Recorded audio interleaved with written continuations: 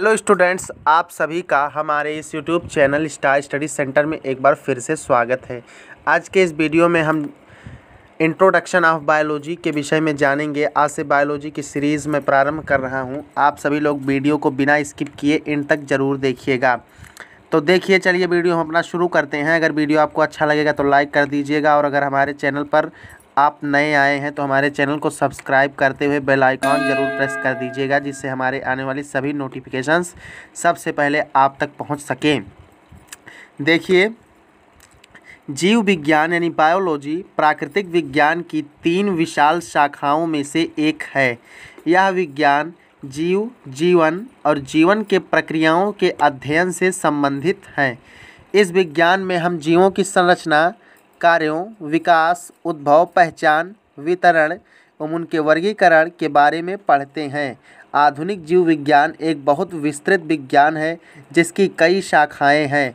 Biology शब्द का प्रयोग सबसे पहले लैमार्क और ट्रेविरेनस नाम के वैज्ञानिकों ने सन 1801 ईस्वी में किया। बायोलॉजी शब्द का प्रयोग सबसे पहले लैमार्क, किसने किसने किया था? सबसे पहले लैमार्क और ट्रेविरेनस नाम के दो वैज्ञानिक थे जिन्होंने बायोलॉजी, जिसे कि जीव विज्ञान कहते हैं, इस शब्द का सर्वप्रथम प्रयोग किया था। जिन वस्तुओं की उत्पत्ति किसी विशेष अकृत्रिम जातीय प्रक्रिया के फलस्वरूप होती है, जीव कहलाती है। इनका एक परिमित जीवन चक्र होता है। हम सभी जीव हैं, जीवों में कुछ मौलिक प्रक्रियाएँ होती हैं।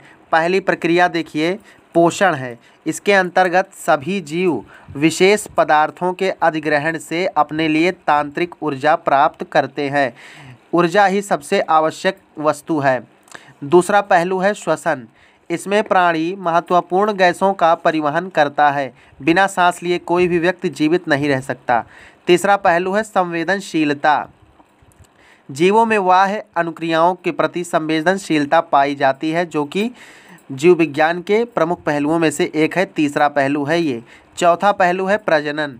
यह जीवों में पाया जाने वाला अनोखा एवं अति महत्वपूर्ण प्रक्रिया है। प्रजनन से जीव अपने ही तरह की संतान उत्पन्न कर सकता है तथा जैविक अस्तित्व की पुष्टता को प्रदान करता है। तो देखिए बायोलॉजी जो है, दो शब्दों से मिल करके बना है और जो दोनों शब्द हैं, वो सभी ग्रीक शब्द है लैटिन भाषा के शब्द हैं।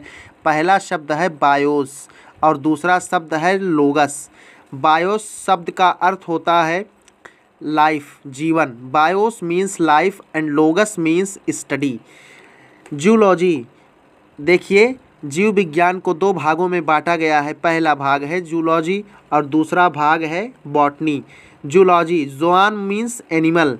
दो शब्दों से बना है जूलॉजी। पहला शब्द है जोआन और दूसरा शब्द है लोगस। तो जोआन मीन्स एनिमल, यानी जोआन का अर्थ होता है जानवर और लोगस का अर्थ होता है स्टडी। तो जीव विज्ञान की वह शाखा जिसके अंतर्गत जानवरों का अध्ययन किया जाता है। यहाँ देखिए जोन लिखा हुआ है। जानवरों का अध्ययन किया जाता है। वह जंतु विज्ञान कहलाती है। और दूसरा भाग है बॉटनी। बोटेन मीन्स हर्ब, यानी झाड़ियाँ, और लोगाश मीन्स स्टडी। यानी जीव विज्ञान की वह शाखा जिसके अंतर्गत झाड़ियों का, पेड़ों का, पौधों का, पादपों का, वनस्पतियों आदि का अध्ययन किया जाता है, उसे बॉटनी यानी वनस्पति विज्ञान कहते हैं। अब देखिए, जूलॉजी के फादर, पूरे बायोलॉजी के फादर तो एरिस्टोटल कहे जाते हैं, यानी आरस्तु, और इनके जो दोनों भाग हैं, जूलॉजी और बॉटनी, इनमें पहला है जूलॉजी तो father of zoology as well as father of biology is called Aristotle. आरस्तु ही जो है, जीव विज्ञान और जंतु विज्ञान के पिता माने जाते हैं। फादर ऑफ़ बॉटनी देखिए father of botany is called Theophrastus Theophrastus को फादर ऑफ़ बॉटनी कहा जाता है। जैसा कि मैंने प्रारंभ में आपको बताया लैमार्क और ट्रेविनेरस नामक दो वैज्ञानिकों ने बायोलॉजी शब्द का नाम सर्वप्रथम दिया था। आधुनिक जीव विज्ञान के आधार क्या क्या हैं, ये आप देख लीजिए। तो पहला आधार है कोशिका सिद्धांत सेल थ्योरी आपको अगले वीडियो में क्रम क्रमानुसार सभी के बारे में जानकारी दी जाएगी। दूसरा आधार है क्रम विकास, यानी जिसको हम कहते हैं इवोल्यूशन तृतीय आधार है जीव विज्ञान का आनुवांशिकता, हेरिडिटी, जिसके पिता माने जाते हैं ग्रेगर जॉन मेंडल, जिन्होंने मटर वगैरह पर अपना शोध किया था। चौथा स्तंभ है, आधार स्तंभ है समस्थापन, होमियोस्टेसिस। और पंचम आधार है ऊर्जा।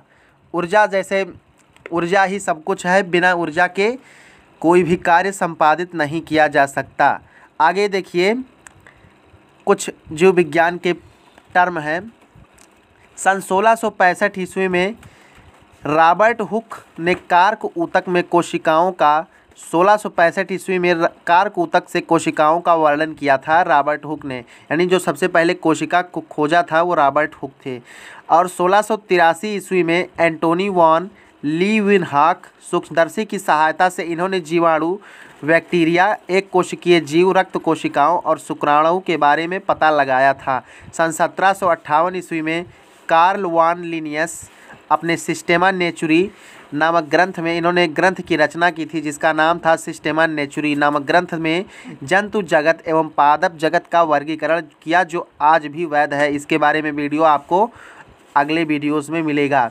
सन अट्ठारह ईस्वी में थियोडार श्वान और मैथियस जैकब स्लीडन ने कोशिका सिद्धांत का प्रतिपादन किया, जो आज भी माना जाता है। सन अट्ठारह ईस्वी में मैंने ऊपर भी आपको बताया कि ग्रेगर जॉन मेंडल ने पादपों में संकरण हाइब्रिडाइजेशन के प्रयोगों के बारे में पहला प्रकाशन किया और इन्होंने ही आनुवंशिकी की स्थापना की, जिसके लिए इन्हें फादर ऑफ़ हेरिडिटी कहते हैं।